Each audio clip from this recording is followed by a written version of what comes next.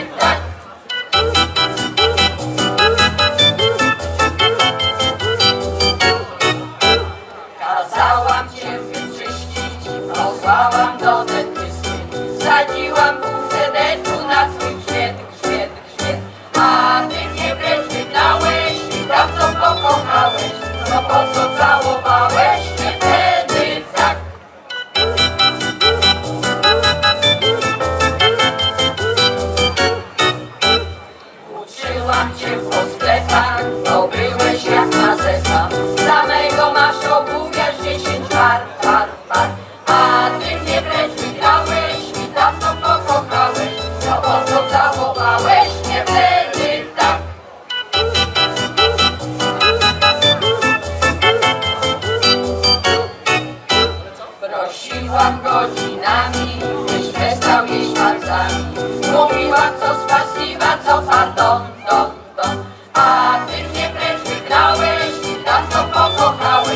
A po